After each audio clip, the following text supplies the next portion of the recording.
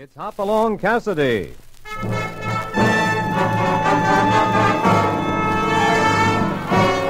With action and suspense, out of the Old West comes the most famous hero of them all, Hopalong Cassidy, starring William Boyd.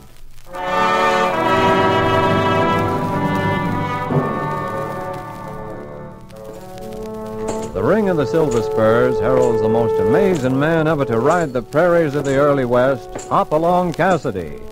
This famous hero thrills his 60 million fans with action and dangerous adventure. In the role of Hopalong Cassidy is the popular star of the motion picture series, William Boyd. And appearing as that laughable old character, California, is Andy Clyde. Now to our story The Man Who Made Willie Whirl.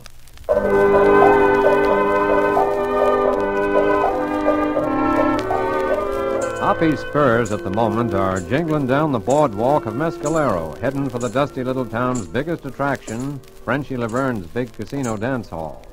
For something new has been added a troupe of traveling actors who have brought new excitement to Mescalero's nightlife. Hoppy walks in, looking around, trying to spot California in the crowd milling about the place. Hey, California. Hoppy. Well, what's my britches? You finally decided to come and take a look-see for yourself, huh? Now, California. Come on in. These acting dudes are regular circus. They're over there near the runway, see? Hanging around Frenchie's gal, Dixie. Come on, I'll introduce you. Will you let go of my arm? I didn't come here to see any show. Show? They ain't giving no show. They're giving autographs. Autographs? Sure. The lead man for the next play, that young feller standing by Dixie, he's been writing his name on pieces of paper and passing them out. What for? Look, California.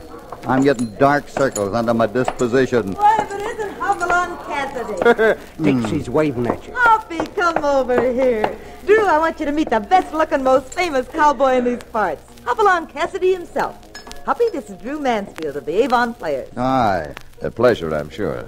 Hoppy's the one who should be giving out autographs. Ha ha ha ha. well, I mean it. Why not? Here's my pen, Mr. Cassidy. Do you mind? Yes, I do. Come on, California. Oh, come on, Hoppy. You're a regular Please, Hoppy, for me. I want it. Okay, okay, if you want to be foolish. He's doing it. There. Thank you, dear. How about a drink? Hey, wait a minute. Uh, Hoppy, Hoppy, uh, wait for me. Uh, where are you going? Uh, say, what's the rush? Now, hold on. Ah, shucks. Dixie didn't mean no harm. Uh, you're going to see her in the professor's show next week? The professor. Sure, Stratford Bardwell, he calls himself. The boss actor. Uh, a skinny old goat in velvet pants. Oh? Yeah, you should have seen him cry in his beer. Frenchy told him he couldn't use the Opry House unless Dixie was playing, uh, uh, Juliet. Juliet. You don't mean. Oh, no. Oh, not Romeo and Juliet. Yeah, yeah, come to think of it, that's what I hear them call it. Uh, by some feller uh, named uh, Willie, uh, uh... William Shakespeare. Yeah, that's right. Uh, how do you know? Ha ha ha ha! Shakespeare and Mescalero. Cassidy. Huh? Who's that? Oh, Joe Gregory. Hi. I didn't see you there in the dark. I. What's the matter? I kind of figured you'd be dropping around here. I've been thinking over what you told me yesterday in the hills. I told you. Think I didn't recognize you, huh, Cassidy? Just 'cause you wrapped your bandana around your face? Now hold on. Why, I'd recognize your voice anywhere. Or you even wearing the same clothes and riding the same white horse. How dumb do you think I am? I don't know what you're talking about. Why, this coyote's been eating loco weed. So you don't know what I'm talking about, huh? You don't even remember telling me to leave my money at the foot of Red Mesa either, do you? I never figured you was the kind to try blackmail, Cassidy. Blackmail. I've been going straight for a long time trying to make good Ramrod and the Flying X, and now just 'cause of you and your threats, I, I, I... Gregory's here. You take care of him, California. I'm going after that shooting hombre.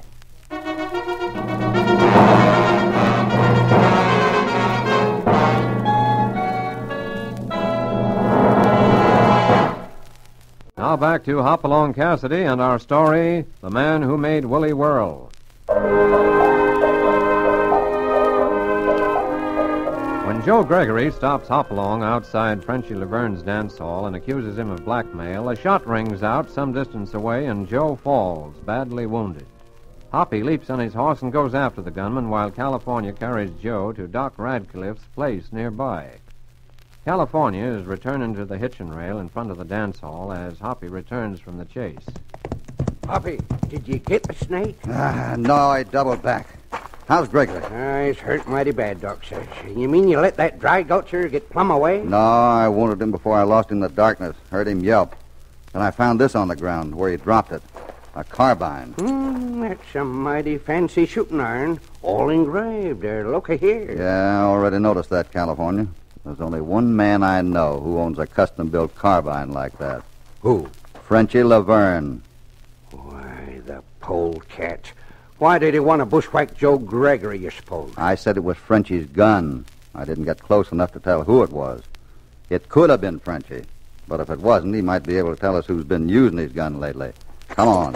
Hey, hey, where are you going? Frenchy's office is inside here above the dance hall. I know, but the way I'm feeling right now, I'd rather drop in unannounced. Come on. The back stairway is around this way.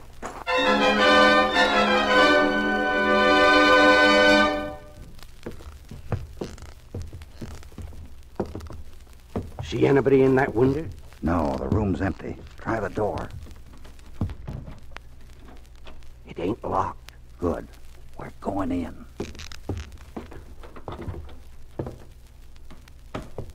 Jumping bullfrogs. This here's the most elegant room I ever seen. Look at all them leather chairs, the pretty pictures, and the doodads on the wall. Yeah. Mighty fancy, all right. I'll just lay the carbine on the desk, right beside that roll of bandages. Huh? Yeah, yes, sir. He must have got that bullet hole plugged up right here in Frenchy's office. Say, uh, look at this here box full of bottles of medicine. Yeah, Frenchy's emergency kit. He's got everything in there. Yes, sir. Iodine, carbolic, clo... Clo... Wh- wh- wh- What's this? Chloral hydrate. What kind of medicine's that? That stuff is medicine the same way a blackjack is. It's the technical name for knockout drops. Yeah, uh, what's it doing here? What are you doing here? Uh, Frenchy. That's the question, gentlemen. We're waiting for you, Laverne, and returning something I think belongs to you. That carbine. Oh? Oh, I see. Thank you. I'm glad you recognized it. Do sit down. I'll stand if you don't mind. I don't mind. What's troubling you? You see this sleeve? Your sleeve? Oh, you mean that hole in it? Two holes. One where the bullet went in and the other where it came out. Huh? Uh, what the... uh, Take how- it easy, California. I wasn't hit. You see, Frenchy, Joe Gregory was standing in front of me. The man who fired that shot from your gun was standing directly behind me. All he could see was my back. The bullet passed between my arm and body. Jumping Jehoshaphat. It must have been you he was shooting at, not Gregory. Exactly. You seem to be in good shape, Frenchy, so I know the man I winged out there wasn't you. If I wanted to kill a man, I wouldn't waylay him in the dark. You can be sure of that. No, you'd hire somebody else to do it for you. Wouldn't you? Hmm. Come, let's not be offensive. Remember, I had every excuse to kill you just a few seconds ago when I found you prowling around here. Legally, you are burglars. However, I changed my mind. Then you admit it was one of your boys who tried to kill me? I admit nothing. But if you're interested, there are six of them on guard outside the door I just entered. I see. And I don't suppose you have any idea how these bandages come to be on your desk. No idea. I've been out all evening. Really, Cassidy, you're coming here like this. the only reason you're still alive is I decided I could use a man like you. Anyone smart enough to run a successful blackmail racket is smart enough to help me run this town. Hey, Cassidy, I'll cut you in on everything. Good night, Frenchy. Ah, that's your answer. Yeah, and if you're thinking of calling in your men who are waiting outside the door, forget it. Not at all. Nothing is going to happen to you.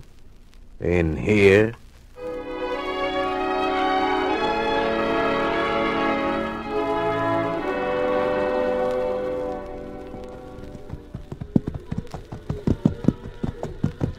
Well, we'll keep the herd up here on high ground for a couple of weeks, California. The grass is better. Yeah. Uh, looks like the boys are having trouble. Yeah, that bunch way ahead there, trying to run down the bluff to low ground again. I hold it. Huh? Way down there past the foot of the bluff. Those two riders. Well, I'll be darned. Ain't that Dixie in the paint? Yeah, and a man on a white horse. Can't recognize him from this far off. Look at 'em riding hand in hand. Uh, now they're stopping. Huh? Hey, he's uh, kissing her. Yeah. Well, what do you know? Must be Frenchy Laverne. It had better be Laverne. If it isn't, Dixie's liable to have trouble. there he goes, riding off by himself. So I see. He's just leaving her there. Maybe it ain't Laverne, and whoever it is don't want to be seen riding back into town with Dixie. Uh, uh, uh, Hoppy, uh, looks like that bunch is trying to stampede over the bluff. Get on ahead and help turn them.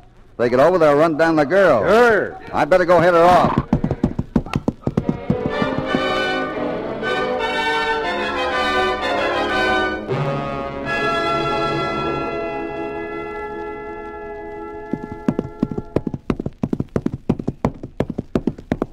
On a minute, Miss Renee. Hopalong. What's the matter? Boys are trying to head off a stampede down that bluff. Oh? Well, sounds like they got everything under control now. But you better wait a while. I, I didn't know any of you boys were working cattle up there. If they stampede down that bluff, they're liable to. I mean, there's somebody riding up ahead. Oh, you'll be all right. Oh. You saw him? Well, I saw somebody. Hoppy. Yeah? You saw? My eyes aren't too sharp, Miss Renee. Can I depend on that? Of course. It's none of my business. Well, if you and Laverne want to go riding together, what's wrong with it? After all, he's been very good to you, Miss Renee. Buys you lots of things. So what? I don't owe Frenchy Laverne a thing. Not a thing. Why should he? Oh, Hoppy, don't call me Miss Renee. We're friends. We are, aren't we? Of course. What's bothering you, Miss Renee? Laverne. I hate him. I wish I'd never laid eyes on him. I wish I'd never come here. I hate it. This dirty little mud hole of a town. Well, why don't you leave if you feel that way about it? If I only could. If I only. Laverne can't keep you here. No. No, of course not. Hey, looks like California's heading this way with. Where? Oh, I'd better be gone. Bye. Hey, Hoppy!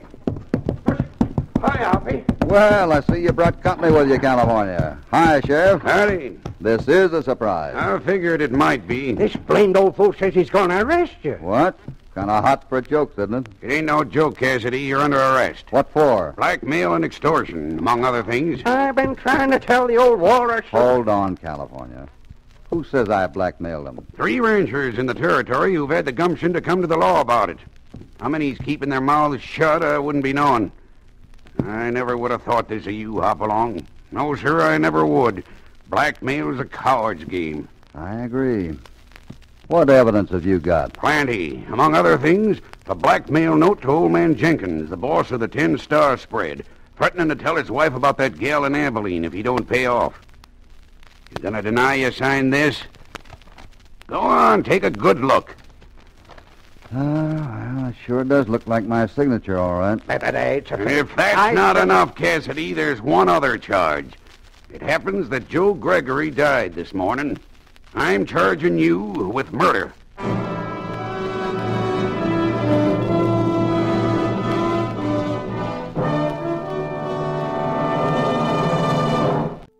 Now back to Hopalong Cassidy and the man who made Willie Whirl. Arrested on a charge of blackmail and murder, Hoppy is locked up in jail at Mescalero to await trial.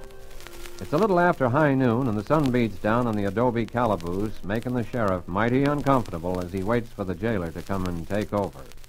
I sure wish that jailer'd hurry back from dinner. It's so dag blasted hot in here. Howdy, Sheriff. Uh, California. if you want to see your pal, he's in that third cell over there.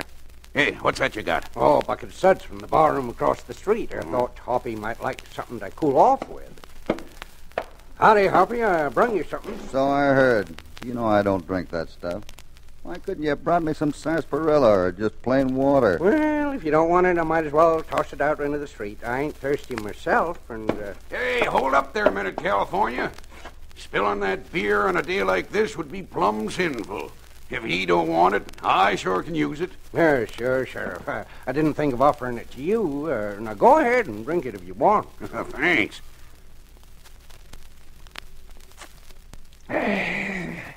Good, eh? Oh, it sure hits the spot. That's fine. Say, is that a checkerboard you got here? Sure, drag up a chair. I'll teach you how to really play checkers.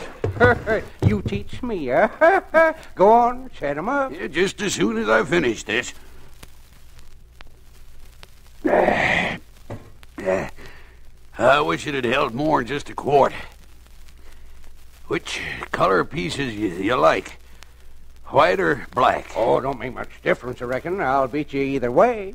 Well, I, I'll take the white. Uh, set 'em up. Sure is hot. Yeah, uh, making you sleepy, huh? Yeah, it sure does. I, funny, I feel so. What's the matter, Sheriff? Oh, I, I don't know. Uh, my eyes, I, I can't tell the black pieces from the white. I don't. Hey, what happened? What's wrong with the sheriff? Hold your horses while I find these keys. There. What happened? What did you do? Oh, that beer. I thought you'd gone crazy bringing me beer.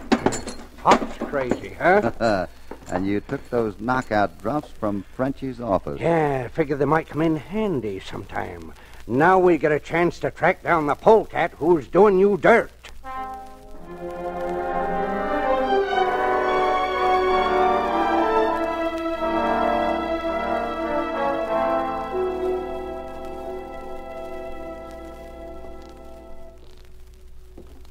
Evening, Laverne. Huh? Oh. Oh, crawling up my back steps again, eh, Cassidy? I noticed the door was open. Yes, I was cooling off. Sit down. I talk better standing. Drink? No? I hear you don't mind serving drinks. The whole town's talking about that Mickey you fixed for the sheriff. But they're not laughing, Cassidy. Joe Gregory was a good man. The boys don't like his being murdered. If you come here looking for protection, I don't need protection, Laverne. All I need is evidence on who really killed him. And you're the one who can supply it. what kind of evidence would you like? The truth. That your gunman missed me and killed Gregory by mistake. Ah, don't be childish. Do you really expect me to admit that? No, Cassidy, you should have known better than to reject my offer. Now you can stew in your own juice. you know, Laverne, it's a funny thing. Nearly all these blackmail victims were threatened with a revelation of information which only you might have. Either that or Or what? or someone working for you. One of those dance hall girls, for instance, whose job includes making the customers buy drinks. A girl might do quite a job getting some of the boys drunk enough to blab all their troubles and secrets, and then pass on the information to a confederate who might uh, make use of it. Really building up a case for yourself, aren't you, Cassidy? All you have to do is find the Confederate. It could be you. Nice try, but it won't work. I didn't say it was you. I just said it could be. Could be almost any man one of those girls might go for. A girl who'd help that hombre make a fast dollar in the hope that they both might be able to pull out of here in style. What are you getting at? Uh, I'm just reaching, Laverne, trying to find an answer. You see, I don't like being framed. You don't, huh? If you're innocent, you might help me. Get out. I will, but think it over, Laverne. Think it over.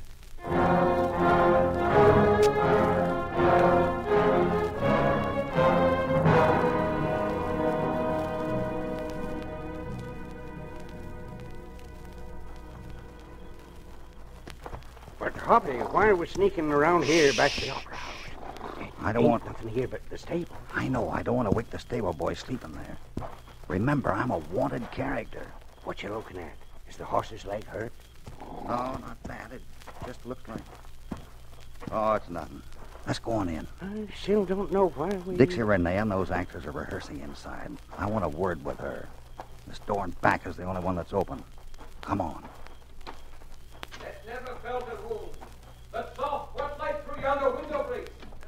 No, no, no, please, Mr. Mansfield. Shh, come on. I don't know what was wrong. Nation, it's dark. Let's get where we can watch the stage. I beg, I plead. Act. Do not orate. How many times must I tell you? All right, Mansfield, take it from he jests at scars. He jests at scars that never felt a wound, but soft, what light through yonder window breaks? It is the east. No, no, no. Oh, for Pete's sake, Professor, that sounded perfectly fine. What's wrong with it? What is wrong, she asks. You can be forgiven, Miss Renee. You are a dancer. But Mansfield, he's supposed to be a professional. I resent that. You do. And what of the bard? What of Shakespeare? He is whirling in his grave. You won't do, Mansfield. Miss Renee, I plead with you. Drew is going to play Romeo, and if you don't like I it, submit my resignation immediately, but immediately. well, goodbye. Oh, this is too much, too much. Back here in the shadows, California. Stratford Bardwell, who have directed Edwin Booth, cannot possibly stomach this amateur. Don't mind him, Dixie. He's a temperamental old cuss. And what of the bard? What of Shakespeare? He is whirling in his grave. Hey, man. Oh, say, listen to Mansfield imitate the professor. That Drew Mansfield sure can act. Yeah, he sure can. And this is one performance I won't forget. Come on, let's get out of here. The rehearsal's over. We don't have to be quiet no more. He's gone. Huh? The stable boy's gone. I, I say he's gone. Yeah, so he is. I only hope he didn't leave to go after that. That's just what he did. Uh, uh, the sheriff. Cold beer, huh? It's about time you learned that this town don't take to escaped murderers. Let me have those guns. But if you'll just wait until the actors come out from the rehearsal, I think I I can find out for who's nothing. responsible. Get on your horses and no funny stuff. Who's going to direct the play now? Look, I think Drew's a wonderful hero. they're coming out now. If I can These guns in your ribs say you get moving toward the jailhouse. But there'll be more trouble. Not if I keep you. What in blazes? It's Frenchie! Watch out, Drew! You played your last love scene with Dixie. Drop that gun, Frenchie. Watch out! Quiet! Quiet, everybody! Quiet! Look at him. I had to do it. He was going to kill me. I saw it all. Be quiet. He's, he's dead. Frenchie is dead. I'll handle this. Now, let me see. Yeah, I guess he is. All right, get back, folks. I I didn't want to kill him. The sheriff saw it all, Drew. It was the only thing you could do. Can I up here, Sheriff? Uh, you be quiet, Cassidy. So plain much happening, I don't know what to do first. You stay right here where I can keep an eye on you. Don't you think you'd better tend to Drew's wound first? Drew, are you hurt? No, no, not at all. Here, let me see there. Did Frenchie wing you? No, nothing, nothing. I tell you, I, I'll take Dixie home now and get her away from all this. Sheriff, are you going to stand here and let the blackmailer and murderer get away? I sure ain't. I'm taking you in right now. I'm talking about Drew Mansfield. He killed Joe Gregory, and he's been impersonating me. Why, you dirty! I ought to. If you're so innocent, why don't you let us tend to your arm? Because I'm not hurt, I tell you. For a man who's not wounded, there's sure a lot of blood dripping down your sleeve. Here, let me cut the sleeve open with my knife. No! What's the matter, Drew? What have you got up your sleeve?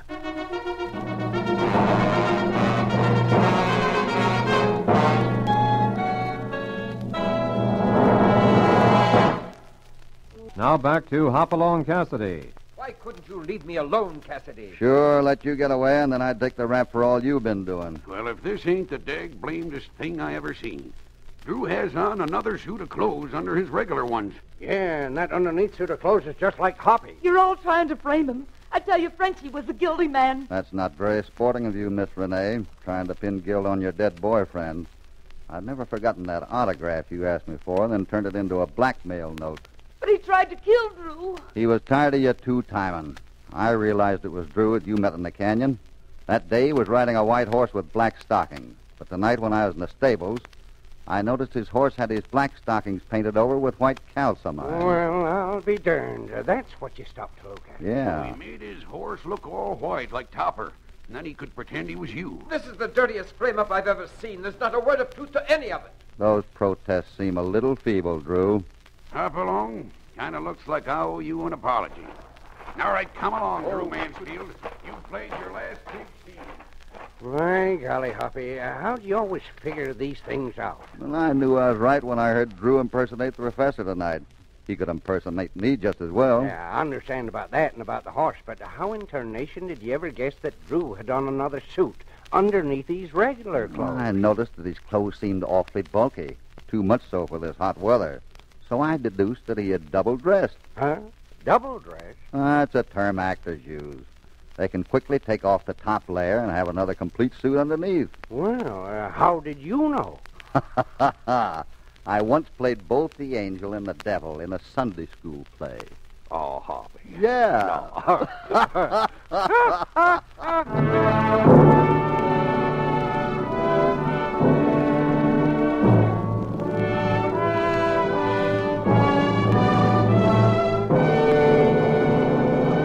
Goodbye from Hopalong Cassidy and California.